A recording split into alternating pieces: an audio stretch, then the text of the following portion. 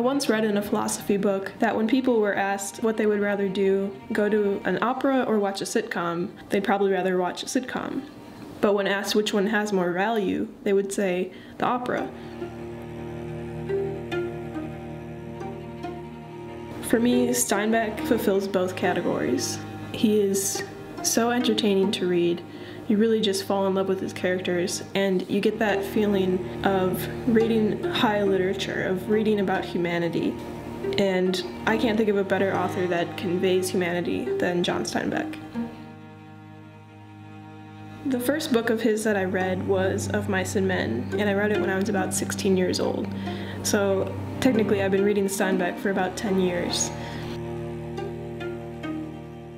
I actually started reading Steinbeck, or really heard of him, from a show called One Tree Hill, which I'm a little bit embarrassed to admit. One of my favorite characters on the show was reading one of his books, so I decided to pick up a Steinbeck novel, and it changed my literary life.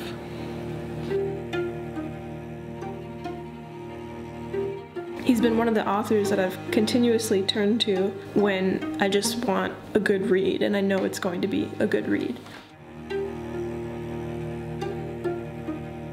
After reading Of Mice and Men, I bought a book of his short novels and I read The Red Pony and The Pearl, and then I read Tortilla Flat when I was in college.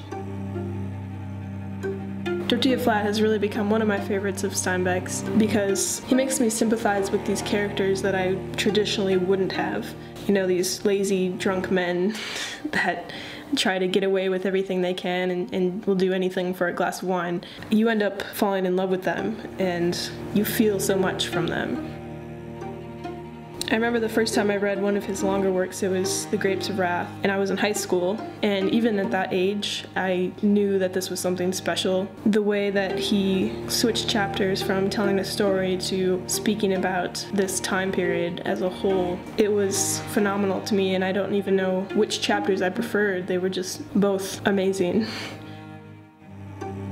As much as I cherish all the books that I already have of Steinbeck's and those that I've read, I'm so excited with the fact that there's still more of him that I have yet to read. Part of me doesn't want to get through it all so that I'll always have a Steinbeck to read in the future.